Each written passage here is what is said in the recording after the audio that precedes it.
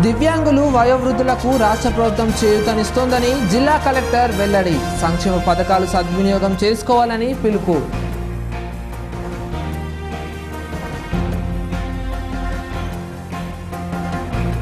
ఎడపల్లి మండలంలో భూ పోరాటం. ఇళ్ళ స్థలాల కోసం భూమిని ఆక్రమించిన నిరుపేదలు రంగంలోకి దిగిన రెవెన్యూ అధికారులు.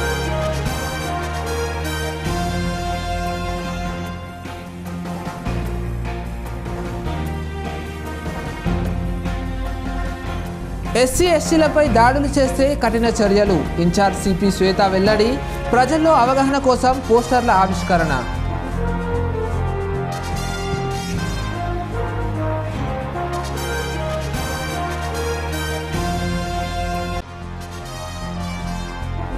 కుటుంబ ఆస్తి పంపకాల ఆలస్యం యువకుడి ఆత్మహత్యకు దారితీశాయి.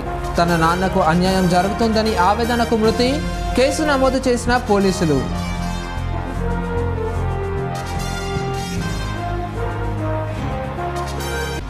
విద్యార్థుల్లో బ్రిటిష్ స్పోకెన్ ఇంగ్లీష్ శిక్షణ కోసం కేంద్రం కసరత్తు. జిల్లాలో ఆరు వేల మందికి ఆన్లైన్లో తరగతులు నిర్వహించేందుకు ఏర్పాట్లు.